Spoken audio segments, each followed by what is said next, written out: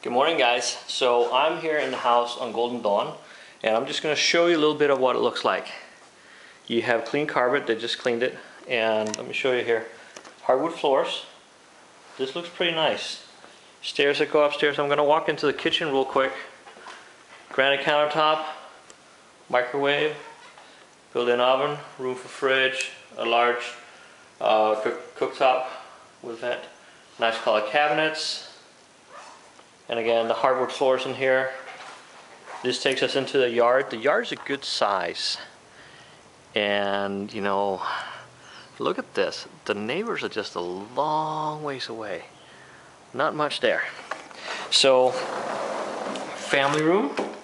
I'm gonna try and hold this camera as still as I can. That's a little hard. Uh, family room with fireplace, place for your TV. Nice big space. And I'm gonna go over here. We have a bath here, which is a full bath with a shower. The garage is three cars. So something that probably could be used. And you'll see we'll go back into the kitchen and then back in the hallway, going up the stairs.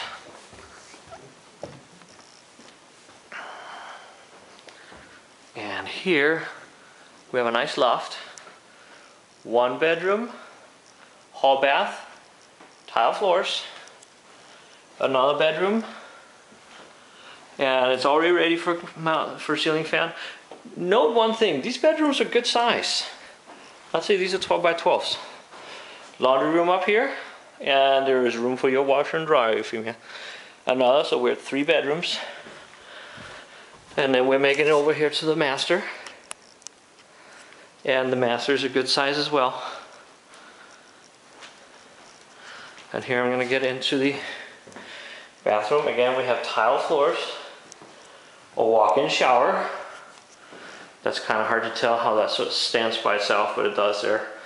Then a corner tub and separate vanity. Walk in here, and here is the walk-in closet, which is a good size.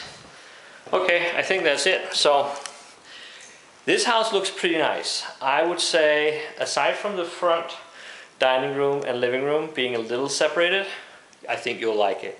Um, let me give you a final view out the window up here from the master. This is what the neighbors all look like, but look at the size of our yard here. This is pretty good.